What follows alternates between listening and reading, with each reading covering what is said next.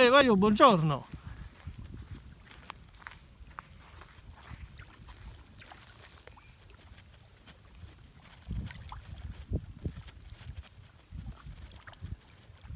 Un gigno nero a calle.